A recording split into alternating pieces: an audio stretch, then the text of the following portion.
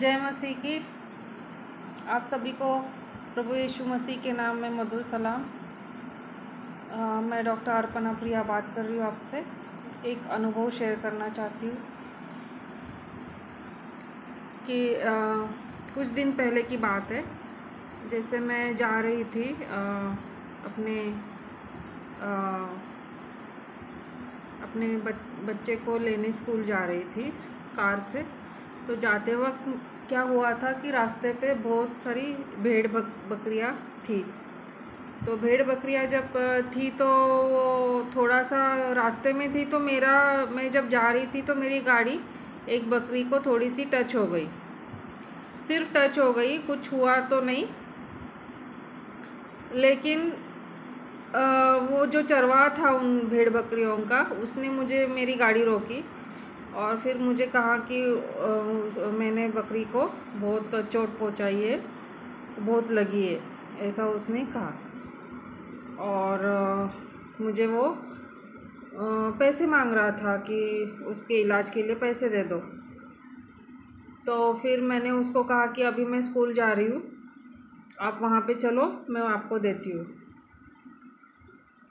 तो कुछ अ, कुछ समय के बाद चार पाँच लोग वहाँ पे आ गए चरवा के। उसकी औरत आ गई उसकी बेटी आ गई उसके और कोई पहचान के दो तीन लोग आ गए। वो स्कूल के पास आ गए और वो मुझे वो कहने लगे कि मैंने उनके बकरी को बहुत ज़ोर से गहरी चोट दी है और मैंने बहुत ही उसको अ, मतलब हर्ट किया है कि जिस वजह से खून बह रहा है और उसको अस्पताल ले जाना पड़ेगा। तो मैंने कहा, भाई, देखो, मैं आके देखती हूँ बकरी को, और अगर बहुत ज़्यादा लगी है तो मैं इलाज करा दूँगी। लेकिन मैं बिना देखे कुछ पैसे वैसे नहीं दे सकती। तो फिर वो बोले कि, ठीक है, आप आके देख लेना। फिर मैंने मेरे बच, बच्चे को ले लिया स्कूल से, और हम लोग उनके घर गए। वहाँ पे मैंने वो भेड़ बकरियों को देखा तो मैंने कहा कौन सी बकरी है जिसको मैंने अ, अ, मेरी गाड़ी अ, गाड़ी से टकरा गई? कौन सी बकरी उसको लेके आओ। तो वो लेके आए। लेके आए और वो बकरी एकदम बिल्कुल नॉर्मल थी। उसको कुछ भी नहीं हुआ था। वो अच्छा घास वास खा रही थी। तो फिर मैंने उनको कहा कि आपने ऐसा क्यों कहा मुझसे कि बहुत लगी है? ऐसा हुआ वैसा हुआ। तो बोले नहीं अ, हमें ऐसा लगा लेकिन कोई बात नहीं। मैंने कहा तो फिर मैं किस बात के पैसे दे दूँ आपको? तो बोले, नहीं रहने दो आप। तो मैंने कहा, ठीक है। शुक्रिया थैंक यू मैंने उनसे कहा। कुछ लगा भी नहीं था और बकरी तो एकदम नॉर्मल थी। बस ये लोग क्या हो गए थे, बहुत एक्साइटेड हो गए थे। उनको लगा कि बहुत लग गया है, लग गया है। वो थोड़े नर्वस हो गए थे।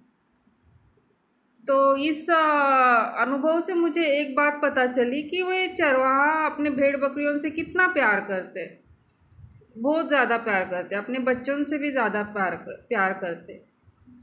कि थोड़ा सा भी किसी गाड़ी का टच हुआ तो वो उस गाड़ी के पीछे भागेंगे अ, उनसे अ, कहेंगे कि हमारी बकरी को बहुत ज़ोर से लगी है ये वो मतलब कितना परेशान होते हैं वो इन उनके भेड़ बकरियों के लिए।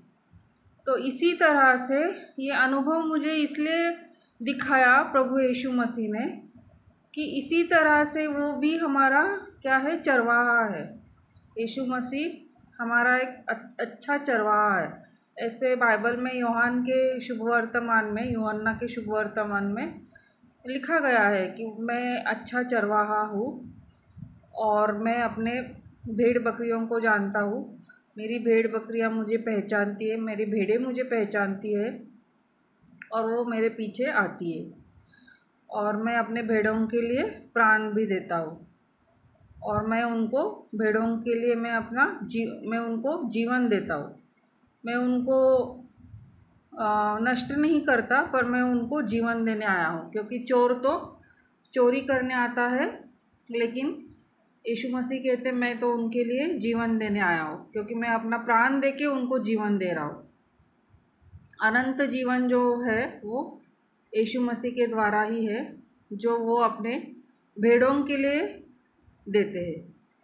जो भेड़ें उस पर विश्वास करती है, जो उसके पीछे चलती है, जो उसकी वाणी सुन के, आवाज़ सुन के उसको पहचानती है तो ऐसे भेड़ों के लिए वो अपना वो अनंत जीवन दे, देते हैं। उनके लिए अनंत जीवन उन्होंने दिया है। और वो उनके लिए अपना प्राण देते हैं। प्राण दे के उनको बचा लेते हैं शैतान के अंधकार से, शैतान दुष्ट से। और उन, उस, उनके लिए वो अनंत जीवन देते हैं।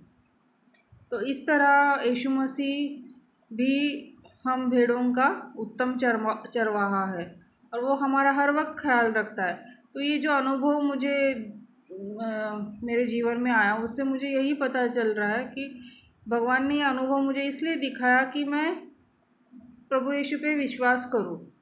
उस उसके आ, आ, उसके अगवा वो मेरी अगुवाई करता है। वो मेरे आगे आगे चलता है, मैं उसकी भेड़ हूँ, मैं उसके पीछे पीछे चलती हूँ वो मेरा रखवाला है। जैसे कि चरवाहा अपने भेड़ों का कितना ख्याल रखता है थोड़ा सा भी उसको किसी ने चोट पहुँचाई या कुछ हुआ तो वो उस आदमी का, आदमी के पीछे ही पड़ जाता है। तो इस तरह यीशु मसीह भी अपनी भेड़ों के लिए शैतान से लड़ पड़ते हैं, शैतान के हाथों से उनको छुड़ा लेते हैं। और यीशु मसीह खुद कहते हैं कि मेरे भेड़े मुझ, मेरे भेड़ों को मुझसे कोई भी नहीं छीन सकता। वो मेरे हैं और सिर्फ़ मेरे रहेंगे। और मैं उनके लिए अपना प्राण देता हूँ और उन्होंने दिया भी है अपना प्राण। क्रूस पे अपना प्राण दिया है, अपनी कुर्बानी दी है। पापों की क्षमा हमें मिल गई है और अनंत जीवन मिल गया है। तो इस प्रकार से यीशु मसीह हमारा चरवाहा है, हम उसकी भेड़े हैं। वो हर वक्त हमारे साथ है, हमारा ख्याल रखता है, हमारे आगे आगे चलता है और हम उसके पीछे पीछे चलते हैं। यही दिखाने के लिए, यही समझाने के लिए मेरे, मुझे यीशु मसीह ने वो अनुभव दिखाया कि देख, वो चरवा अपनी भेड़ों की जैसी रक्षा करता है और जैसे उनके लिए इतना परेशान हो गया था कि तुझे वो पूरी फैमिली तेरे पीछे पीछे स्कूल तक आई।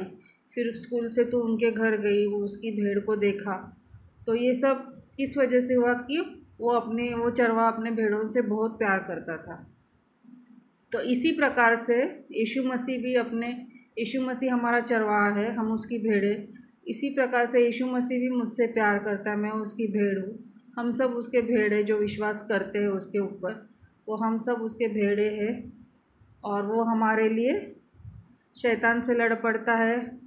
हम हाँ खोई हो, भेड़ों को वो ढूंढता है, उसको अपने पास बुला लेता है और अनंत जीवन उनको देता है। धन्यवाद प्रभु। मैं छोटी सी प्रेयर करना चाहती हूँ कि धन्यवाद प्रभु, आपकी सुरक्षा के लिए जो हम, जो आप हमें देते हैं हमेशा। हर दिन, हर समय हमारे साथ आप होते हैं। आप हमारे चरवाह हैं, हम आपकी भेड़े हैं। और आपकी रखवाली के लिए हम आपका शुक्रिया अदा करता, करते हैं। आपने हमारे लिए अपना प्राण दिया। आप हमारी रक्षा करते हैं शैतान से और हमें आनंद जीवन भी आपने दिया है। धन्यवाद पिता। ये छोटी सी प्रेयर मैं प्रभु यीशु मसीह के नाम से करती हूँ। आमीन। धन्यवाद। थैंक यू जय मसीह की।